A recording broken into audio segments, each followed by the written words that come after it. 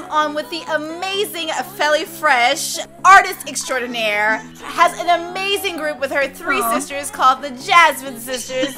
I'm sure you've heard about her, and if you haven't, you're about to hear all about her. We are going to get into some really cool detail today. We're going to talk about having multiple careers and how you're able to juggle that and not be put in a box, the box that society likes to put you in, right? So, first, before we get into that, I'm going to have Felicia just talk about herself a little bit, and then we will jump right into it. Okay.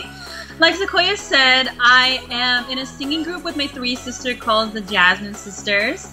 And I am from Los Angeles, California. Uh, we make music, I paint music, I create just anything related that's just artistic, and I'm just the overall artist. I love that. So, when did you start painting? Because I know initially I knew you as being in the singing group with your sister. So, when did painting become something that was natural for you? Well, for us, when we were working on our music, I would paint just as a gift to a lot of the producers and friends and people that are around us that were helping us. Mm. They really inspired me to create art for them because I appreciated their help so much and they are were so talented. I was so inspired. And my first painting was actually for a producer who was just so skilled at piano and making music and I, I just felt so moved and it came from my heart and I did it as a gift and it just started becoming something I started doing all the time. That's so cool. But like when did it become like a shift for you like in your career? Because I know at first it was all about the music. Then all of a sudden i started seeing all of these paintings and then i just saw you with dre like gifting him the painting from like straight out of compton and i'm like wait when did this become a thing? So tell me more about that. Well um for us like anyone that knows how the, the entertainment industry is or in in any creative field there's always waves and whenever there's different waves that happen in our career uh, I guess I was always raised to like be efficient with my time. Mm-hmm. So with every season, I feel like I want to use that time to be working on a new craft or be honing skills that I already do have, and I want to just use that time wisely. Um, my mom's a piano teacher, my dad's a preacher. We grew up singing in church, ah. and music is something that's always a part of us. So I always would find ways to express that passion inside of me, and art just came out of it.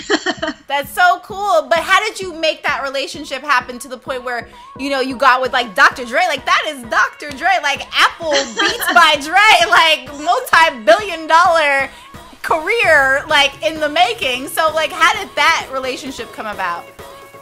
Well, that was just something that actually was just a perfect example of how I used my art to still pursue my other career, which was music, and they're related to each other. And even when I when I met him, it was just such a surreal thing. It's pretty much a miracle that it happened. But even a painting like that, I used art as a way to get into meet him and now he knows I exist and he knows who we are. It's like the weirdest thing. Right. And um, he didn't even realize I had painted it when um, he just he didn't realize that I was in a singing group, and there was all these things that he didn't realize. Like, that's you? Oh wow, you painted that, and and you're in a singing group with your sisters, and it was all, it was like such an amazing experience, and that's just a perfect example of using another avenue to get to where you gotta go. I love that. I think so with 7 a.m., it's super important that we're educating our community. And I love the fact that you are able to kind of balance two different careers, although they're under the same umbrella, being an artist, but like being a visual artist and being a musician at the same time because I know society likes to group us into one thing. Like specifically, I was a music video director for years, and then I came out to Silicon Valley and started perfume. Yeah, I met you. exactly. I started pursuing a career in tech, and so as a tech entrepreneur, people are like, "Well, are you still directing music videos? Like, what's going on?" And I found myself being torn because I'm like, "Well, that was my former career, but that's like not a former career. It's still a talent that you have, and it's still a talent that you possess, right? But you kind of feel yourself having to choose. Like, do you feel like you get trapped in that box at any point? A lot of times, um, what I do is I I'm very used to, I guess, balancing a lot of different things because I do have so many interests. Mm. Um, something that sounds cliche is for people to really go with their gut, follow your heart, use your instincts. And I pray a lot, you know, I rely on my faith to kind of know which way I should navigate um, in regards to which seasons in my life or what I should be doing. Mm. And a lot of times I do see it come together from experience. I just know that you have to just do what feels right to you. If something feels forced, then that's probably not the right way to go. Right. And right. It, be open to other ways of getting there because, hey, this is a millennium and there's so many different ways to get things done. And it's just being open and exploring more things about yourself. When you truly know yourself, that's when you find out where you got to go. I agree. And I love that you talk about seasons because that, I think, is a prime example. Like, this may be your music season, this may be your art season. They may combine and, and cross each other, like you never know, mm-hmm. right? So having that focus and being able to shift gears and not letting society put you in that box and say, yeah, no, you're, sure. Yeah, you're gonna you're gonna be a music you're gonna be a musician or no, you're gonna be an, a visual artist and like having that open mind. I think a lot of people get trapped in that. And another thing people kind of deal with is that fear because I know we've been all following the story of Kanye West how he's gone through an he's an incredible musician, right? Incredibly mm-hmm. talented, but like as soon as he decided I want to do fashion, people are like, mm, not so much, right? So right.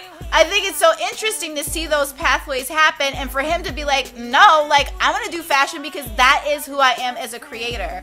And I love the fact that you're like, I'm an artist. Like, that doesn't necessarily mean I'm just a musician. I'm just, you know, a painter. I am an artist. So I think that's so cool. I, I guess if you're pursuing anything, even with Kanye, like if he wants to pursue something, or if we feel like, if I feel like pursuing something else, I, it's always making sure that you're still putting out a quality product, mm-hmm. and and that's the most important thing. And it, it, it's real, genuine, and from your heart.